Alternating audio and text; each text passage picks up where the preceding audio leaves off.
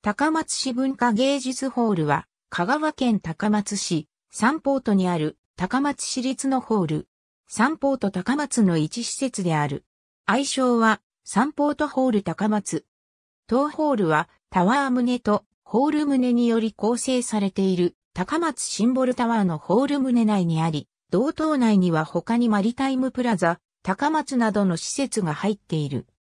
かつて、高松市役所西隣にあった旧、高松市民会館に代わる新しい文化芸術の拠点として1991年より整備が検討され、1994年にサンポートに建設することが決定し、2004年5月20日に開館。おとし公演は、星出豊を監督に迎えて行われた、幾何劇、コウモリ、ホール棟の3階から5階に位置する、プロセニアム型で、総客席数1500席。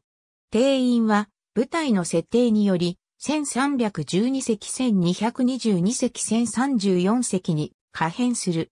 全部4列126席は、オーケストラピットとして使用する際は、座席が撤去され、当該目的用に転換する。